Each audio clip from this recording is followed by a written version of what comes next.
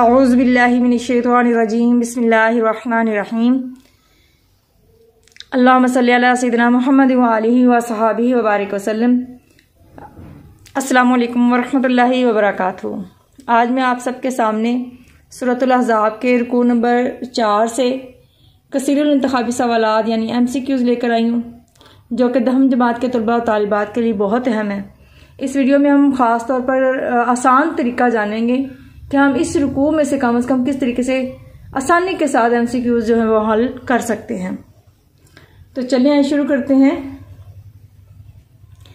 सबसे पहले आपको नज़र आ रहा है, तुरिदना का मायनी है, यानी कि सवाल इस तरह से आ सकते हैं कि किसी भी लफ्ज़ का लिखा हो और भी लिखी हो और हमने उसका मायनी जो है वो ढूंढना है नीचे दिए हुए ऑप्शंस में से। तो जो सही मायने होगा, हमने उसको टिक कर देना है। तो ऐसे सवालों के लिए सबसे बेहतरीन जो तरीका है, वो यही है जो मैं पहले बताया करती हूँ कि तलबा तालिबात को चाहिए कि लफ्ज़ी और बामहावरा दोनों तर्जमे याद करें, ताकि इस तरह के अगर सवाल कहीं से भी आए तो आसानी के साथ इंसान हल कर ले। जैसे यहाँ पर है। तो रिदना का मायनी है, तुम आओ, तुम नहीं हो, तुम डरती हो, तुम चाहती हो। तो इसका मायनी है तुम चाहती हो तो जो सही वाला ऑप्शन होगा, हमने उसको हल कर लेना है, उसको, उस बबल को फिल कर लेना है।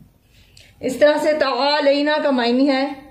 तुम आओ, तुम नहीं हो, मुहैया कर रखा है, तुम खाओ। तो इसका मायनी है, तुम आओ। इस बबल को फिल कर लेंगे। उम्मत कुन्ना का मायनी है। मैं तुम्हें कुछ माल दूँ, मैं तुम्हें कुछ जायदाद दूँ।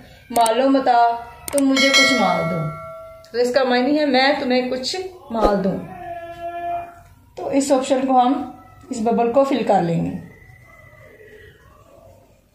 आदा का मायनी है, तैयार किया अदा किया, वादा किया या मुआहदा किया। हमने लफ्ज़ को अच्छे तरीके से देखना है कि अरबी असल में है क्या। तो इसका मायनी है, तैयार किया।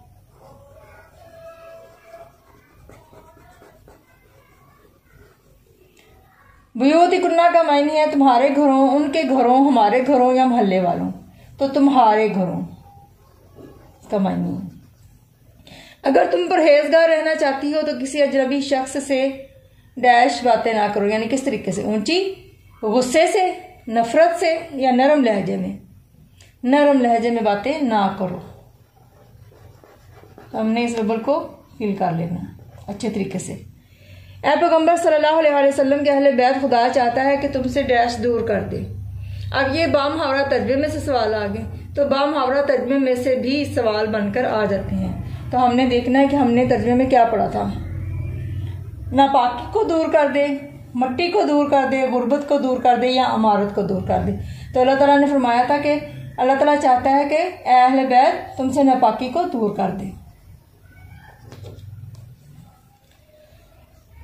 आगे चलते हैं। उमहातुल मोमिनीन के अहकाम का तस्करा सुरा डैश में है। कौन सी सूरत में है? सूरतुल में, अहजाब में, मुमताहिना में या मरियम में? तो हमने सूरतुल अहजाब में ज़िक्र पढ़ा है इसका। सूरतुल अहजाब के मुताबिक मुसलमान औरत को गैर महरम से बात किस तरह करनी चाहिए? बिल्कुल मुख्तर सिर्फ़ अहम बात सोच समझकर या दस्तूर के मुताबिक। तो हमने तर्जमे में पढ़ा कि दस्तूर के मुताबिक, यानी इस तरीके से बात की जाए कि अगले बंदे के दिल में नाजायज कोई भी ख्वाहिश पैदा ना हो।